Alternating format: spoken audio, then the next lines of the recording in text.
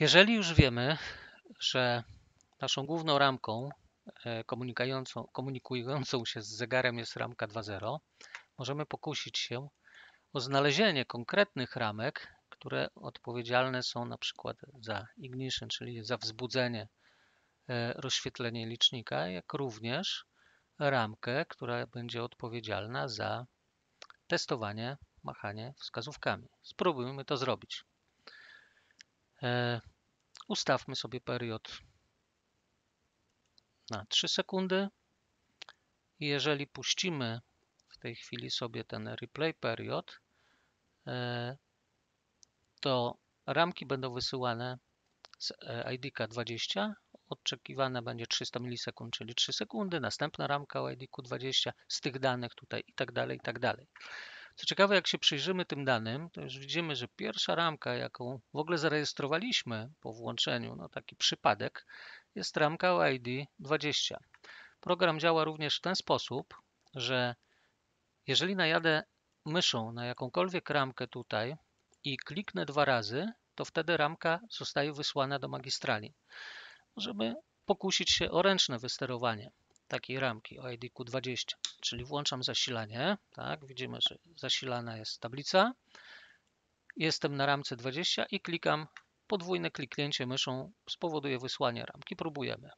Raz, dwa, trzy, cztery, pięć, sześć. Jak widzimy, wysyłanie cykliczne tej ramki co sekundę spowodowało nam wybudzenie naszego zegara. Więc możemy z dużą dozą prawdopodobieństwa powiedzieć, że ta ramka odpowiada za ignition. Jeżeli kontynuuje jej wysyłanie, licznik powinien już całkowicie się wybudzić, co właśnie uczynił. OK. Znaleźliśmy pierwszą ramkę. Jeżeli mamy tą ramkę już znalezioną, jeżeli jest tutaj podświetlona z tej strony, możemy kliknąć tutaj guziczek Copy to Custom. Jeżeli go kliknę, to i przejdę do zakładki Custom, to zobaczymy, że mamy tu nagle skopiowaną tą ramkę, którą znaleźliśmy. Mogę sobie tą ramkę wyedytować. Edycja będzie polegała na wpisaniu, że to jest Ignition. OK. Tak, i mamy już w tej chwili rameczkę skomentowaną z tej strony, że jest to ramka odpowiedzialna za Ignition. Teraz mogę sobie tą rameczkę zapisać. Save Custom to jest oczywiście zupełnie inny katalog do e, zapisywania i wpiszę sobie tutaj e, meciek W205 Ignition. OK. Zapisz. Tak. Jeżeli zapisałem już tą ramkę, tu się nic nie dzieje, tu na razie nic nie wysyłam. Ale mogę wyłączyć teraz zasilanie. Jeszcze raz włączę zasilanie, żeby wyzerować magistralę. Mogę sobie na przykład tą ramkę wybrać również, co ile ma być wysyłana, co jaki czas, tu 50 mam do wyboru. Wysyłajmy ją co 500 milisekund, tutaj będzie. Period 500 milisekund i jeżeli teraz kliknę Start Loop, czyli wystartuj pętlę, ta ramka będzie wysyłana co 500 milisekund. I jak widzimy, licznik nam się budzi. Ta jedna rameczka odpowiada nam za wybudzanie licznika. W tym momencie już w swoim katalogu, gdzie, mam, gdzie przechowuję swoje dane, nie mam e, zapisanego całego galimatiasu danych, tylko mam tą jedną konkretną zapisaną rameczkę, która odpowiada mi za wybudzenie licznika. Ok. Jak akurat mieliśmy szczęście, że ta ramka była pierwsza i takim podwójnym klikaniem udało nam się wybudzić, ale co się dzieje, jeżeli tego nie możemy zrobić? Ja wyłączę jeszcze raz zasilanie, ustawię sobie tutaj 3 sekundy, włączam zasilanie i klikam replay, replay, replay period. No i lecimy. I tu widzimy jakieś rameczki z IDK 20, czyli taka, taka, licznik na razie nic nie robi, taka rameczka, 51, 21 też nam nic nie robi.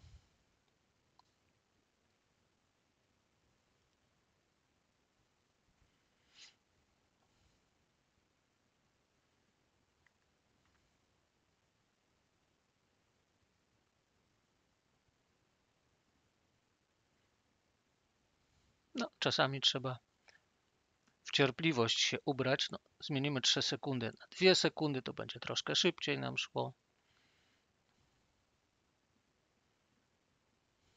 O, nagle okazuje się, że również ta rameczka i ta wcześniej z ID20, gdzie ona tu była? No i już widzimy następna funkcjonalność, którą tak się zbieram jak pies do jeża, żeby dopisać, czyli przyłączniczki plusik i minusik, żeby przewijać nie tylko w dół, ale również w górę po zatrzymaniu te rameczki i wysyłać. No, muszę to dopisać, czyli zebrać się i, i, i to dopisać. Ok, mamy następną ramkę, która odpowiada nam za jakieś działanie. Wyłączę zasilanie. Lecimy dalej z następnymi ramkami.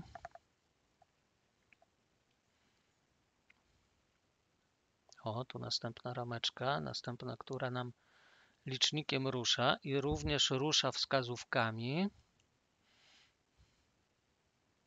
I znowu ruszyło wskazówkami i znowu wskazówkami ruszyło. Ok, jeżeli ta rameczka rusza, no dobrze, puścimy jeszcze raz. Popatrzmy, co dalej licznik robi.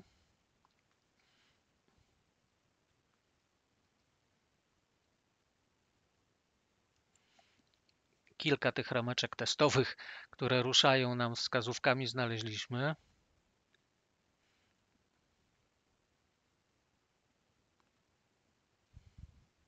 O, tu ładnie zapaliły nam się nawet wszystkie indykatory. Dobra, mamy rameczkę, tu wcisnąłem replay stop, żeby już dalej nie biegło, natomiast tu jest ta rameczka, na której się zatrzymaliśmy i robię ją sobie copy to custom.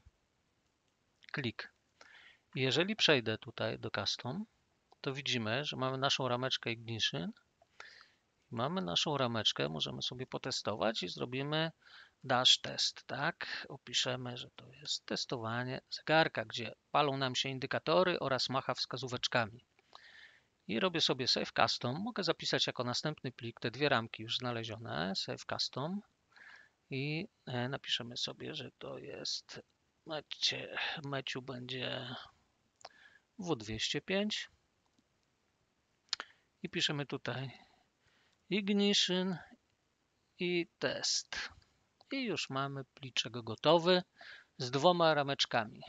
Mamy zbudowaną bazę danych w, no, u siebie w komputerze, w katalogu z dwoma rameczkami, które nam odpalają ten licznik. Teraz wyłączę zasilanie, czyli zresetuję to magistralę, znowu co 500 milisekund startujemy z tymi dwiema e, rameczkami. Zasilanie włączone z powrotem, start loop. Patrzymy, co się będzie działo. I jak widzimy, testuje nam i macha wskazówkami i wybudza licznik. Poczekamy, aż się rozjaśni całkiem. Zobaczymy, że rzeczywiście udało nam się. Może zwiększymy trochę ten period do 700 milisekund, tak żeby ten ruch był pełny, nawet do jednej sekundy, aby ten ruch był pełny. I tym sposobem znaleźliśmy dwie konkretne rameczki odpowiedzialne za ignition tego dashboarda oraz za testowanie jego wskaźników. Zajęło to dosłownie parę minut. Stop loop. W tej chwili nie wysyła żadnych danych. E, zegar samoistnie powinien za chwilę przejść w tryb wygaszania, czyli postoi, poświeci, poświeci i, i zgaśnie i znowu będzie można go wybudzić. OK.